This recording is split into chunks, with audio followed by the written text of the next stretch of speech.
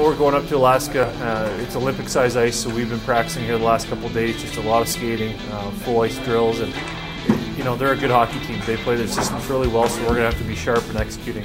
Things are winding down, and you know, it didn't really now that you look back at it, it felt like we were playing a lot of games, but uh, at the time it was sort of, you know, we were just taking it period by period. And, you know, we had a couple days here to get our uh, legs and our bodies back in order, and now we're going to have to get back at it and head up to Alaska. It's definitely a grind. We just played four and five nights, so the guys, you know, I thought we actually got better. It seems like this with this team, the harder the schedule, the more we're competing, um, you know, the harder we play.